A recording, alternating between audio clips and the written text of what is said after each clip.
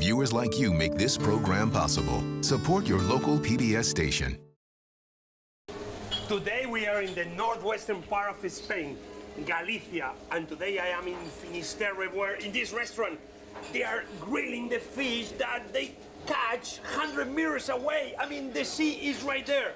We're gonna be catching octopus and so many more things. I am Jose Andres and this is Made in Spain.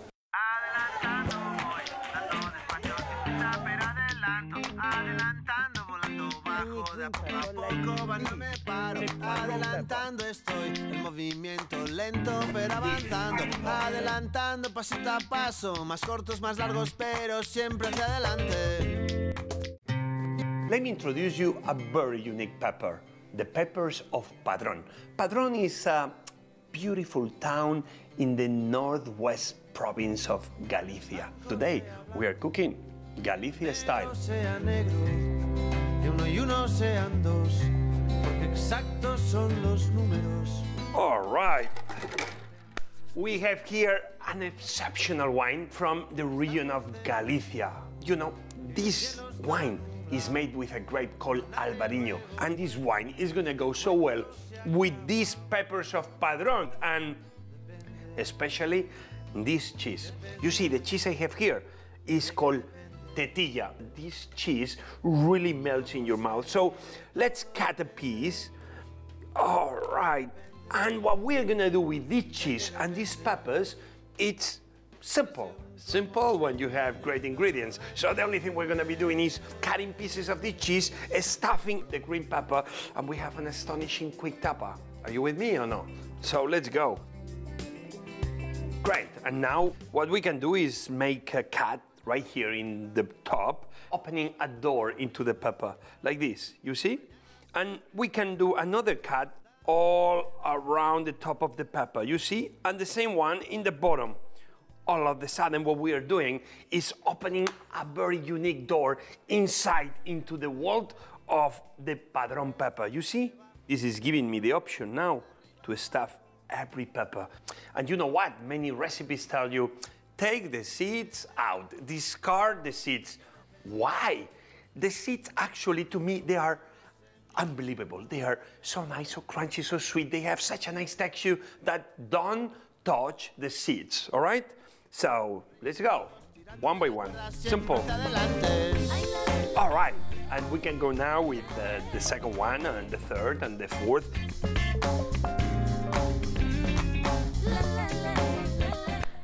We're finished. A hot pan, good olive oil. This is gonna be a quick tapa, and we put this one and the other until all are in the pan. Beautiful, careful, because once you try tetilla cheese from Galicia once, believe me, especially your kids will love it forever. A very quick tapa, very unique. Some salt, always you need to sprinkle the salt from above. Why? Take a look right here. If I sprinkle from very close, you see? But if I sprinkle the same salt from very high, you see, one way the salt goes into one place. From above, the salt goes very spread out. Always sprinkle the salt from way above, okay? Beautiful, and I think the cheese is ready. Oh. Beautiful. What else can we ask in life? Simple ingredients, treated with respect, put them together. Good wine, good Albarino, and you will always have a great dish. Ah. Mm. I think I'm gonna take you to Galicia right now, to Padron, to see where these peppers grow. The story of the Padron peppers began behind the walls of this building, the monastery of Herbon, very close to the beautiful town of Padron. The seeds came from Mexico, the monks planted the seeds, and somehow they start producing this very tiny green pepper that is so sweet that all of a sudden become like a new variety right here in Spain. Today, when you come to Padron, beginning more or less May until almost October, you will find women in every corner, in every street, selling you the peppers that they pick up with their two bare hands. And local bars and restaurants will be preparing this delicacy to tourists and locals alike. And you know, they are so popular that even the women that sell the peppers, they have a monument in their honor. As you see, peppers are a very serious matter in this land. I cannot wait to walk at the beginning of the spring just to see these tiny white flowers that actually they are very tasty on their own, but that obviously what we are waiting is when these flowers turn themselves into a green pepper, a tiny green pepper like this, the padron pepper. You know, these padron peppers are cut only when they reach this size no before, no after. Why? If they become any bigger, they become very, very spicy and the color is not green anymore. It turns like a very dark brown that we don't want. You know, I think I'm gonna go right now to a local restaurant to have a full tray on my own. Ah, some for you too. and you know, these peppers of Padron that simply are kind of uh, pan fried in olive oil, sea salt, and they are like the best candy you can eat in the vegetable world. Oh, they are so good. With a Ribeiro, another traditional wine from Galicia. And I think that from here, Padron, I'm gonna take you right now to Santiago de Compostela. Nothing tells you about how vibrant a city is like visiting their market. And probably the market here in Santiago de Compostela is one of the best markets that you can see anywhere. It's really beautiful. Here, my very good friend chef, Marcelo, comes every morning to prepare his menu. Take a look at these camarones, these tiny baby shrimp, alive. They're translucent. You see? Wow. Look at them. and they're so sweet. We barely boil them with them like popcorn. Ah, but this is very expensive popcorn. Es pasada. So you see the scallop, it comes with this orange that you saw here, but what we really eat is this thing here, the big white meaty part.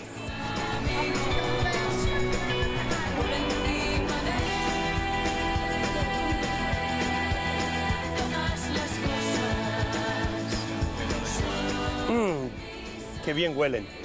These tomatoes smell so good. You know, with these tomatoes, he makes one of his specialties, the tomatoes kinder. ¿Vamos al restaurante? Venga, coge la caja. I think it's time to go to the restaurant and start cooking. And those tomatoes that we bought in the market, they are clean, they take the insides, they put them in this kind of a pressure cooker but inside is vinegar. Five minutes, six minutes, the vinegar kind of gets into the walls of the tomato, and all of a sudden you have a tomato that has all the flavor of the vinegar. It's kind of a self-contained dressing. He puts inside some tomato sorbet, a tomato mousse, a good olive oil from Catalonia, salt, tomato, tomato, tomato. Wow. And take a look at this scallop, which is the symbol of all the pilgrims that come to Santiago. It's so good that he doesn't need to do anything to it. He served at room temperature with this mousse made with this seaweed, which this seaweed is also so unique. Simplicity again at its best. A touch of a reduction of a vinegar of Pedro Ximénez. Bingo, the dish is done. And some good wine from Galicia to go with the whole thing. And you know, eating here is like an act of faith. It's no menu, Things change daily. Whatever Marcelo buys in the market, you've seen it. And he keeps coming up with dishes that are modern, but they keep meeting tradition. What else can you ask for in a restaurant? Esto es... ¿Cómo están estas vieiras? And you know, as soon as I finish this, I'm gonna go to take you to somehow show you one of the most traditional dishes in Galicia, empanada gallega. Are you ready? Good, but I'm gonna finish this first, okay? and Galicia, besides its food, its wine, its peppers, it's famous also for they're pilgrims. Actually, following the St. James Way, they will end right here in Santiago de Compostela, where the remainings of the Apostle Santiago are inside, in the beautiful, breathtaking Cathedral of Santiago de Compostela. So signs of the importance of empanadas in Galicia are everywhere. We can see this is sculpture from the 13th century by men, woman eating an empanada. So the pilgrims will have no problem because almost in every corner, in every street, you will find a place that makes traditional empanada, like this one, Casa Troya. Oof, take a look at those traditional pastries and breads. Mmm, it smells good.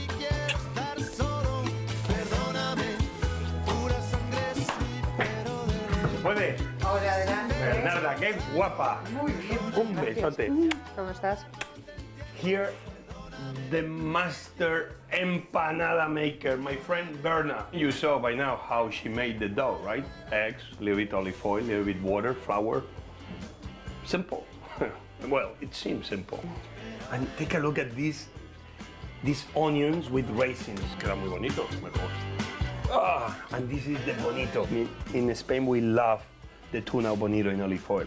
And this empanada, I think, is gonna be astonishing.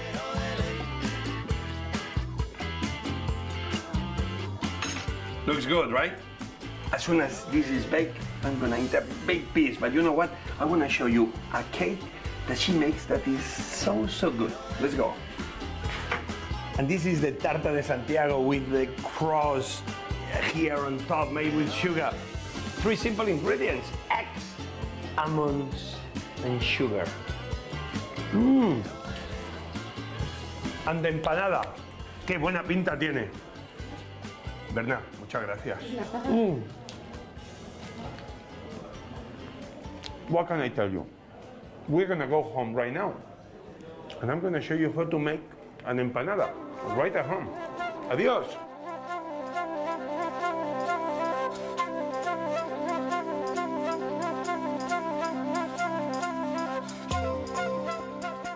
In my house, like in many families in Spain, you know, the beginning of the month, right after my father got the paycheck, was uh, very different from the end of the month. Let's put it this way: was not as much food towards the end. So much of what we will eat had a lot to do with leftover food.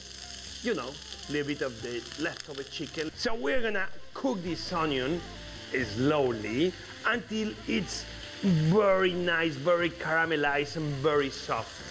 I think this is the right moment to add the next ingredient, the green and red peppers. So we put some green peppers right here. Some of the red peppers too. And by now, I think it's safe enough to add the garlic. Why? Well, the onion is, let's say, very wet because it has a lot of water. And you know, the garlic ain't gonna burn. And that's actually a very good thing. And we're gonna put one bay leaf right inside. And I think it's the right moment to put some salt. By adding the salt, we are gonna help precisely the onion to cry. That means to release the water quicker than if we didn't put the salt, okay?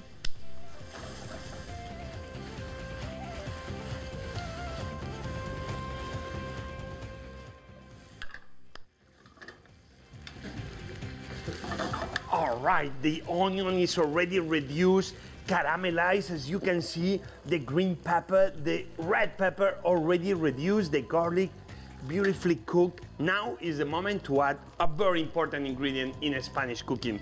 Please help me out. Don't call it paprika, call it pimentón. The Spanish smoked pimentón.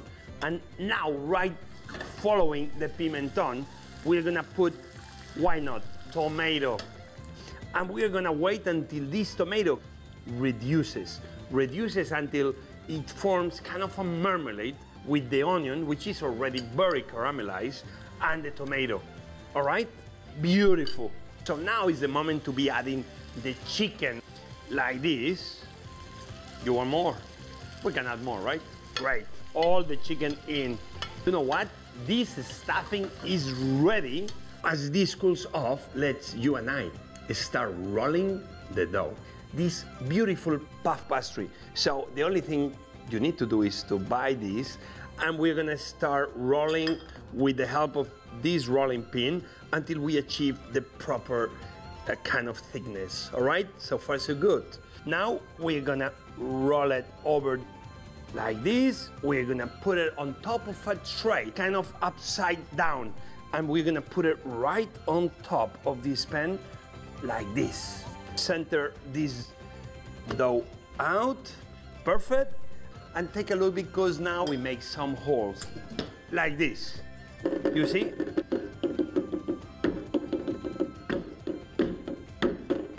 Perfect, so far, very easy, right? All right, so we put this in here. We put a little bit more in here. Perfect. And now with the help of a knife, we're gonna kind of um, cut to make sure that it's even like this. You see? Perfectly straight. And with the help of this egg, we're gonna paint the sides of this because this egg, what is gonna help us is becoming like a glue to attach the other layer, okay? muro puedes darte y partirte la cabeza. Repetirse Take a look. You put a finger right here, right? You fold over the dough over the finger. And you keep rolling the dough again over the finger. All right. And here we are finished. And now, very important, we need to do some holes on the top. Why we want to do some holes?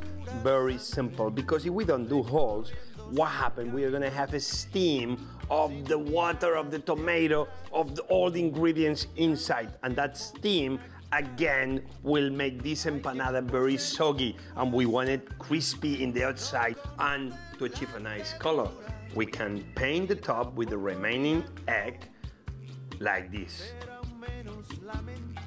So this is ready to go into the oven, you know, more or less around 25, 30 minutes, 350 degrees, and it's gonna be so good.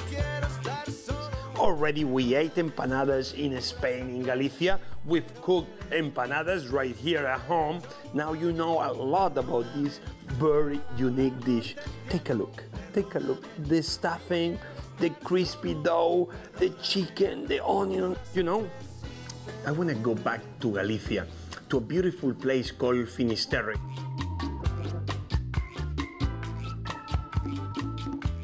I am back in Galicia in one of my favorite places. This lighthouse right here actually shows the most western point in Europe. For centuries, men thought that the end of Earth was right in this point. And that's where the name comes from. Finis terre, finis and terre, earth, the end of earth.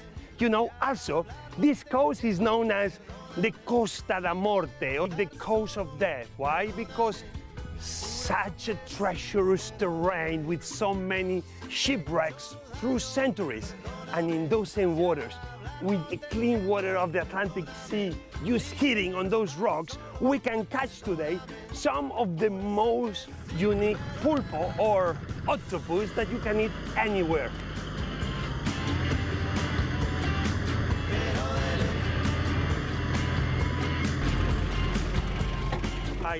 I always wanted to be a fisherman.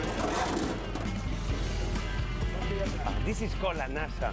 And there they put, you see, the fish inside, and they hope that the octopus will come in. Man, it's hard work. Hey, one small one.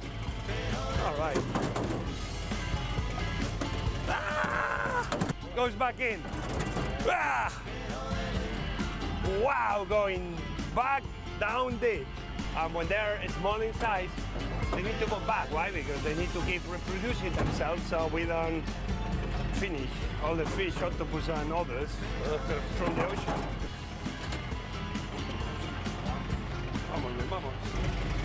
That's the necora. We call this in America conch. Sea snail. Sea stars, plenty of sea stars here. We send it back. So you see sometimes the nasa's, they break And right there, at the same moment, they have to be taking, making sure that they are back to normal. If not, the octopus will escape. Why? Because an octopus, if they can put the eye through a hole, they will be able to pass the entire body through the hole. We got one. Oh, more octopus, small ones. We put them back in the sea until they are really, really big. We don't want them. Oh, so funny. And take a look at these suction cups. Really, they get the stick to my hand, you see? And now I cannot take it off. Oh my God. Wow. Okay, goes back to the water. Where? I can say we were lucky today. I think we got a good quantity of octopus. Hey, many of the sailors are going back to port. ¿Qué? ¿Vamos? Venga, vámonos. Toca, la, toca el pito.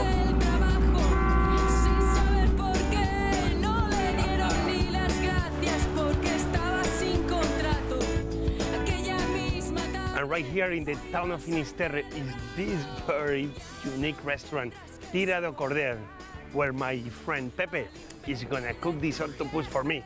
Pepe, ¿cómo estás? Aquí tienes el pulpo. ¿Qué hacemos? And the octopus always has to be boiled, at least is what the tradition says, in this copper pot. 40, 50 minutes later, it'll be very tender. And the pulpo is tender. Tender, but still slightly chewy. That's the best pulpo. He's gonna be preparing this pulpo with the traditional olive oil and pimenton, the paprika and the salt. And when he finishes this, uh-huh. they may hear something that is so unique. No le dieron ni las gracias porque estaba sin contrato. Aquella misma tarde. This is their specialty. Fresh fish. You spot where the octopus is. Vete, vete. And what they do is they cover it in sea salt, like this one.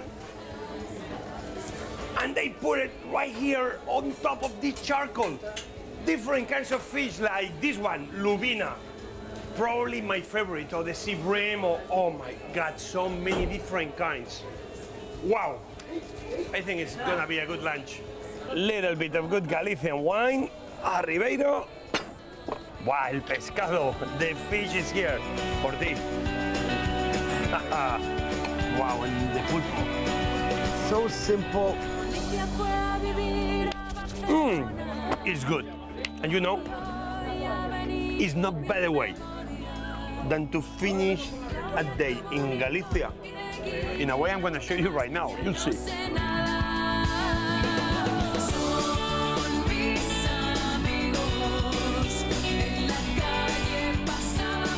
Sapos, coruchas, mochos e bruxas. This is the beginning of a conjuro or spell. Here in Galicia, when they make the queimada, they will say a spell to somehow put away the bad spirits. And you're gonna see what is gonna happen here. Some very good orujo or a very traditional liquor in Galicia. Take a look at what's gonna happen with this beautiful Cathedral of Santiago in my back in the square of the Obradoiro. And now is the moment to light it up.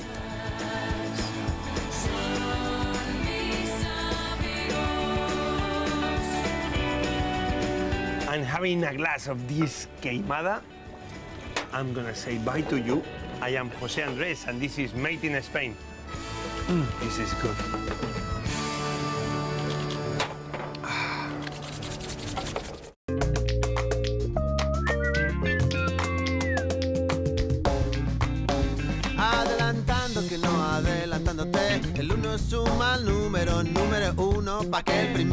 Pa' que con estar es suficiente para mí. Uno más que en uno menos Sumando, sembrando, pensando en lo que voy a hacer. Uno más, pero con nombre y apellidos Tirando de la cuerda siempre hacia adelante